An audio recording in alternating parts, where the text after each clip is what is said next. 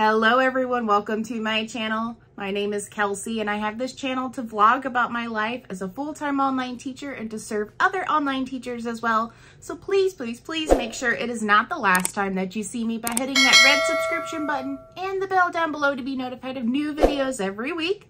And to give this video a thumbs up, it helps support me and this channel. And in order for me to continue running my channel and providing great content for you, please make sure you check out my links down below to help better serve your needs as an online teacher or a parent or a Chrome Music Lab learner, whatever it may be. So for this video, I am going to be sharing with you my top five tips to earn the most money possible as a online teacher.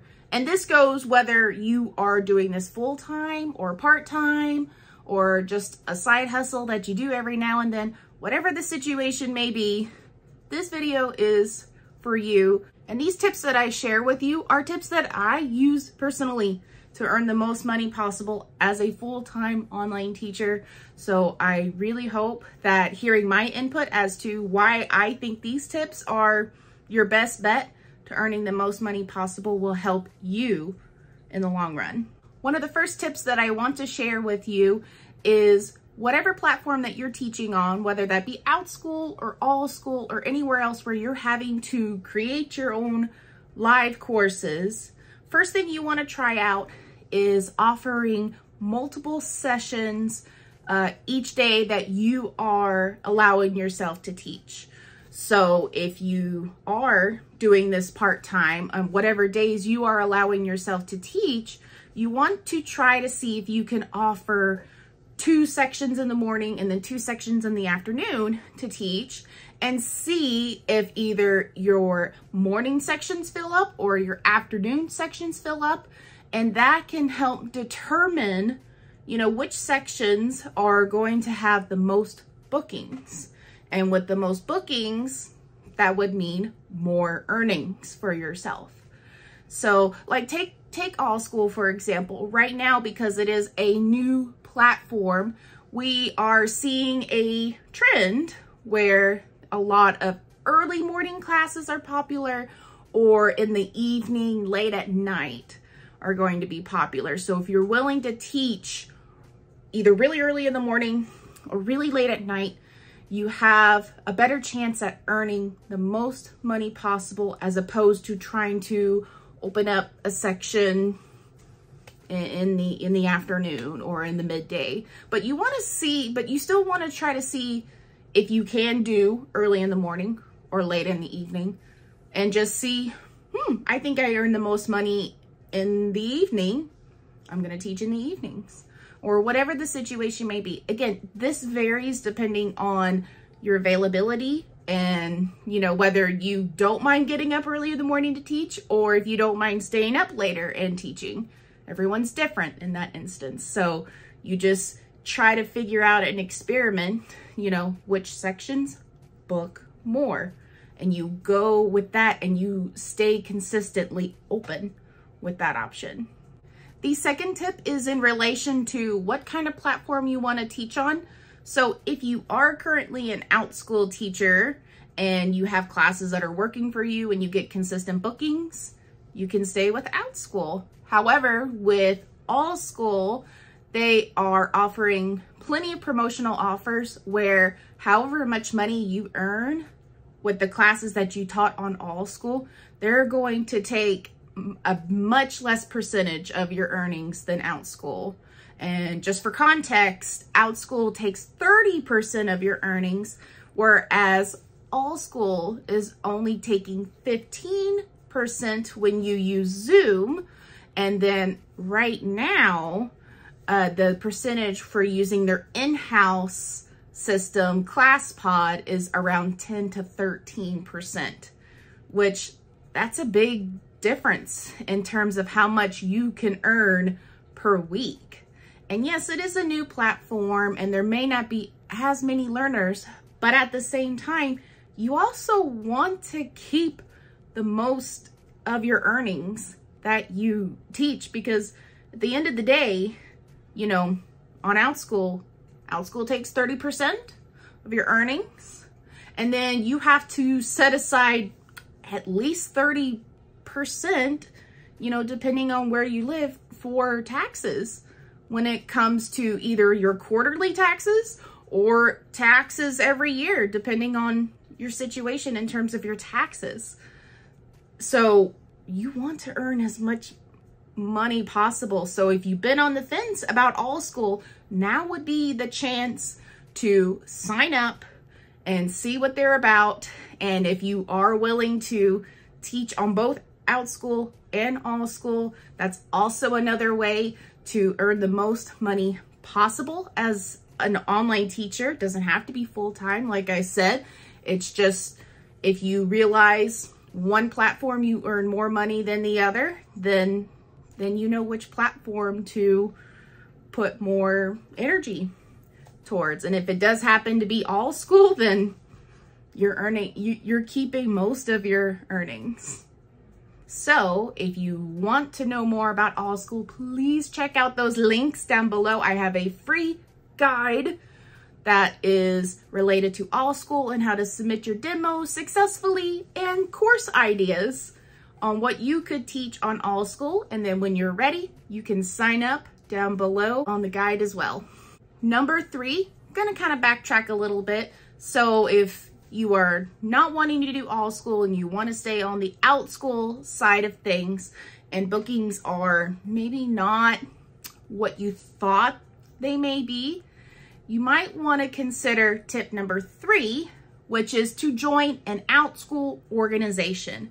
Now, I have done an in-depth video on what an Outschool organization is about and if you are concerned about not getting enough bookings, why you should join an OutSchool organization.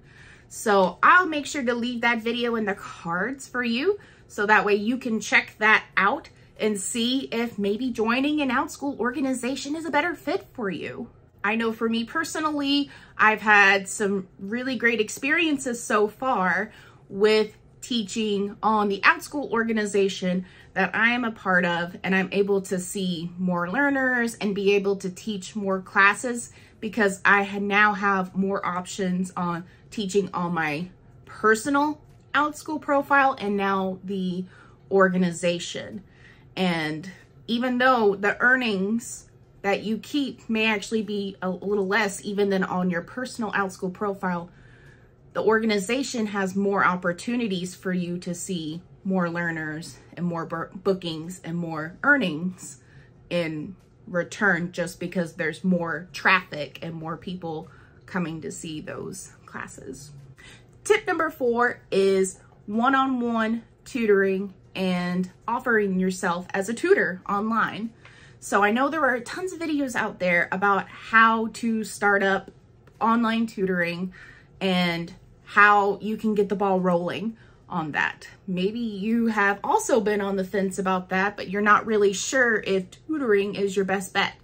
And I say go for it because there are a lot of teachers online that have no idea that the most earnings they get online is to offer one-on-one -on -one lessons. They could be private reading classes.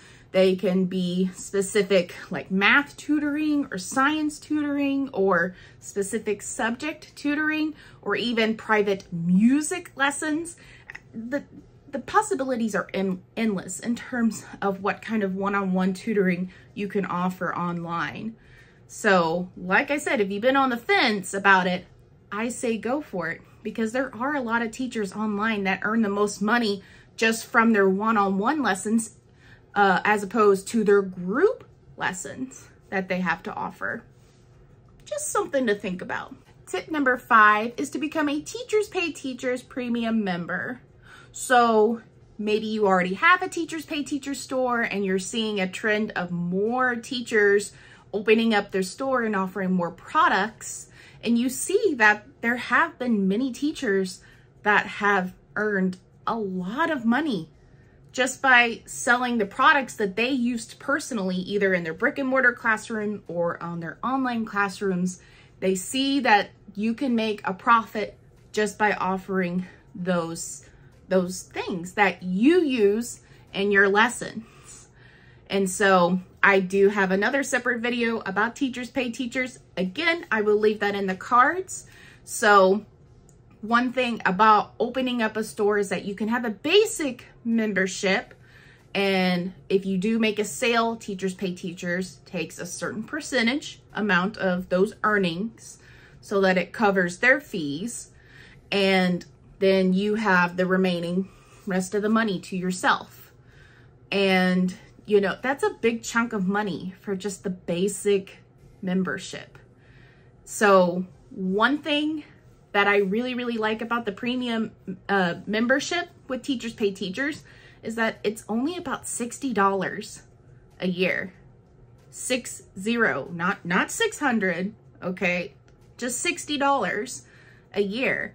And I'm already going to tell you now that the earnings that I'm making in my Teachers Pay Teachers store, I'm going to at least be covering the fee that I paid for my membership, if not more. So the premium membership will eventually pay for it itself because every time that someone buys a product, you get to keep about 80% of your earnings, which makes a huge difference when you offer a $5 product on Teachers Pay Teachers and you actually earn $4 instead of Teachers Pay Teachers saying, well, you only earned $2.50 it makes a big difference.